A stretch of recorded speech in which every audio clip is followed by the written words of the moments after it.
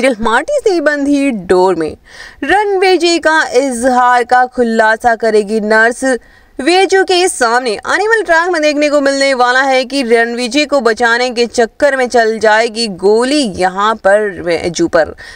पूरी तरह से घायल हो जाती है, जिसे लेकर किसी ना किसी तरह से रणविजय हॉस्पिटल पहुँचता है और यहाँ पर रणविजय बात ही, यानी कि उसकी हालत देखते हुए उसको जो उसकी जान खतरे में देकर उसके प्यार, जो दिल में प्यार होता है, वो इजहार कहीं ना कहीं सामने आ जाता है।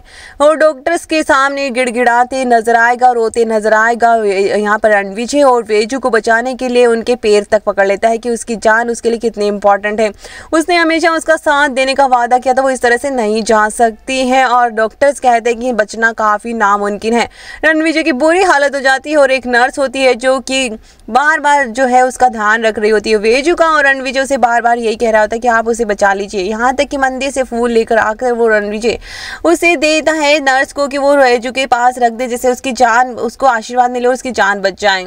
और भगवान हॉस्पिटल के मंदिर में भी वो प्रार्थना करते नज़र आता है।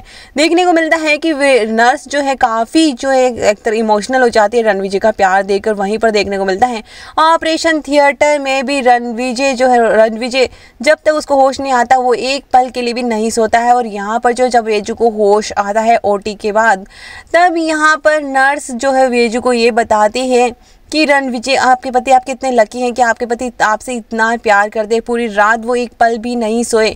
यहाँ तक कि मंदिर में प्रार्थना करते रहे, पूजा करते रहे और आपके लिए फूल भी भेजा था। आप तो बहुत ही किस्मत वाली हैं और ये सुनकर वेजू के खुश उड़ जाते हैं और वो कहीं ना कहीं शोक्ड भी रह जाती है कि रणविजय उसकी इतनी केयर करता है। देखना दिलचस्प होगा कि ये जो सच्चाई है प्यार वाली अब किस तरह से रणविजय और वेजू को एक करती है और कैसे इन दोनों का रिश्ता और ज़्यादा धीरे धीरे स्ट्रॉन्ग होता है।